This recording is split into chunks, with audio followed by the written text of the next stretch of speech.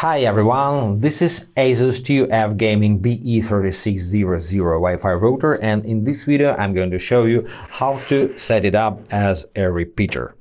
So, to set up this router as a repeater, you don't need to connect any internet cables to it. You just need to power on the router in the same room as your main router, uh, just next to it, and make sure the Wi-Fi indicators on your router are solid white, like this.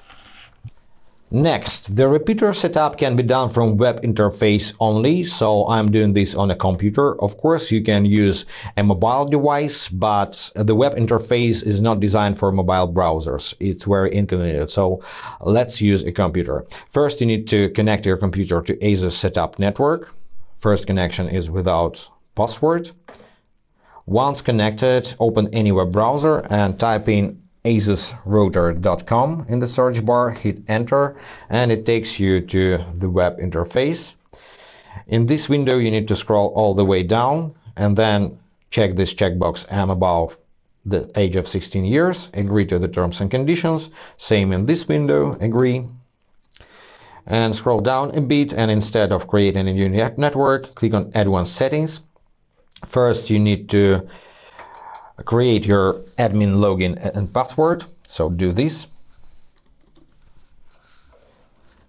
These credentials are very important because if you lost these credentials, you will not be able to manage your router in future. So write them down and save in a reliable place. And next, choose operation mode.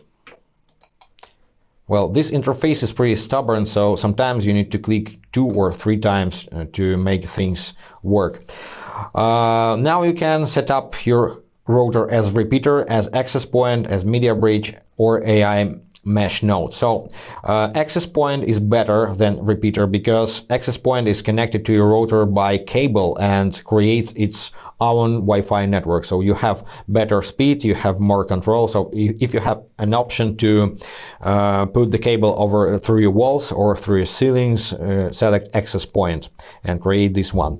Uh, Media Bridge doesn't cre create Wi-Fi network at all. Uh, it just receives the signal from your Wi-Fi router and uh, distributes it uh, via internet cables. So you can connect game gaming consoles, TVs without Wi-Fi to internet using media bridge. And AI mesh is just AI mesh node. If your routers support this feature, just click on that, but uh, it's better to do it in ASUS router application actually. So let's set up the router as repeater, click on that. Next, find your network you wish to extend, click on that. And enter your current Wi-Fi password. Click next one more time. Now I recommend you to select automatic IP unless you know everything about these settings. But if you know about these settings I don't know why do you need my help uh, in setting up router. So select automatic IP for this example and now create your repeaters uh, network name and password. You can stick with defaults or you can delete these RPT abbreviations and create something like mesh network but this is not actually mesh network. But anyway all your devices will connect to your router automatically if you keep the same Wi-Fi network name and password as your main router. So click on apply you can ignore this window. This is suggestion to create stronger password. Click OK.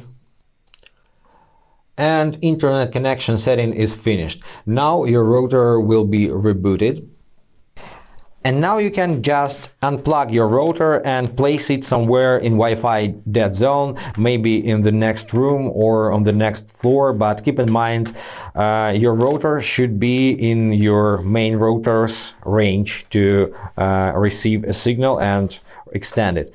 Uh, so keep that in mind and enjoy your new repeater. It's pretty powerful. Anyway, I recommend you access point if you have such an option. And if this video was helpful, consider to subscribe to our channel, hit the like button and be awesome. Bye guys.